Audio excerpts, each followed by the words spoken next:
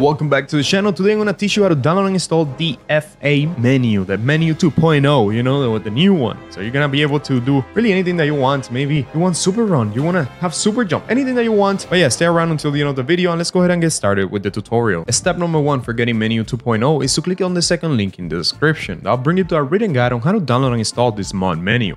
Once over here, this is our written guide and of course feel free to read through it. However, if you just want to follow along the video, scroll down until you see how to download and install Menyoo 2.0 and then on the first step, click this link that will redirect you over here and then in here you're gonna click download. Maybe you have to wait a couple of seconds in here and you're gonna click download again on this big green button and that'll begin the download for the Menyoo 2.0 file. Now if you already have a script hook V on your GTA 5 installation folder, all you have to do now is go ahead and drag and drop the content of this zip file into that folder. But I'm assuming most of you don't have a script hook V, which is a requirement for Menyoo 2.0 to work. Now for the next step, we're gonna go ahead and download a script hook V. So go ahead and click on the third link in the description, which is this link in here, and that'll bring you over here. This is the script hook download page. You're gonna go ahead and click where it says download down here. We also have guides on our website. And by the way, the download will start right away when you click on download. Like I was saying, we also have guides in our website. So just go to our page and look up a script hook V. And as you can see, it's gonna ask you if you are sure about downloading this file. Now this is completely normal. Just go ahead and click on keep. I don't even know why Google Chrome does this. Some browsers do it, some browsers don't. Just go ahead and download this file. Trust me, it is completely safe. And if you know anything about modding GTA 5, you know that you will need a script hook most of the time. Anyways, now that we downloaded these both files, the script hook V and the Menyoo 2.0, let's go ahead and drag and drop them into our desktop. With these two files in our desktop, you will see that these are zip files. Now, if you're using Windows 11,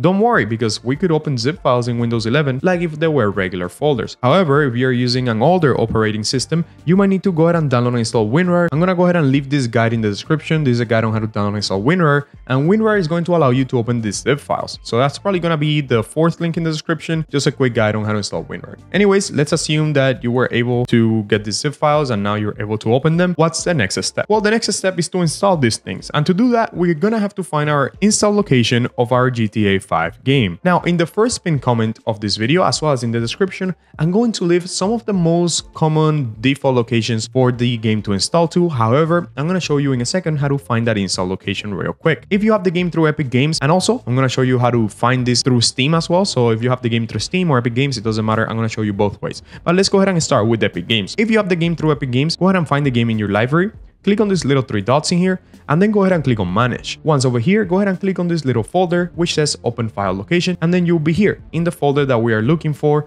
which is our install location for GTA 5. Now, if you have the game through Steam, first of all, go ahead and launch Steam and then find your GTA 5 game here on your games. Now, I don't have GTA 5 here on Steam, so let's just act like this game is GTA 5, right? So once you find GTA 5, you could just right click on it click on manage and then click on browse local files and that'll bring you to the install location of GTA 5. Now this is just an example, this is clearly not GTA 5, but now you know what to do to find the install location for GTA 5 through Steam. Now once you located that folder, go ahead and bring it up to the screen. And guys, before we add any mod into GTA 5, I always recommend that you back out of this folder and you make a copy of it just so you could have a backup in case anything goes wrong with the modding, you could always go back to the normal installation of the game without any mods, so always make a backup. The first thing that we're going to do is add a script hook into here. And no, you're not just going to drag the zip file into here, you're going to open that zip file. Like I said, if you're in Windows 11, you could just double click on it. Once in here in the script hook V folder, go ahead and click on bin and open that folder app. And you're going to go ahead and drag and drop a script hook v.dll into the GTA 5 folder. And once that drops into there, well, I'm going to go ahead and replace it because I already had it. Once you drop that into there, you're also going to drop the d input a.ddl file into here. Again, I'm going to replace it because I already had it, of course. And now you could close out from here and you could even delete that script hook v zip file.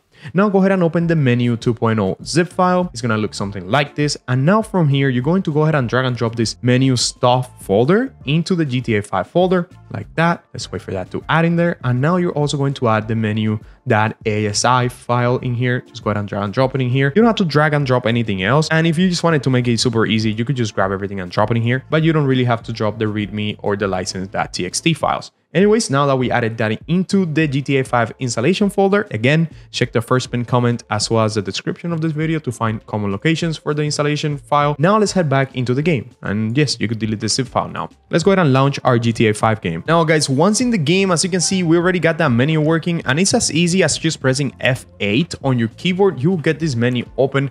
And now, of course, you could play around with the settings. Let's say that you want to just make, you know, rainy. You want to change the weather. Let's say that you want to make it clear. You know, you could do anything, add clouds in there. You could really do anything. Also, guys, very important that I tell you this. This is not for you to use on multiplayer. Just use this on single player. This will get you banned online. Okay, this will get you, definitely will get you banned. So don't try to use this online. The game shouldn't let you use this online, but if you find a way around it, don't use it, okay? Let's give ourselves a super jump and now let's go ahead and test it out. Just all we gotta do is jump. Look at that. This is just so funny. So you can see, this is completely working on GTA 5. This is Menyoo 2.0. I hope you enjoyed this video. If you did, don't forget to leave a like and subscribe. We're trying to reach 100k subs, and I know that you're going to be part of it. And yeah, ignore that. I will see you next time.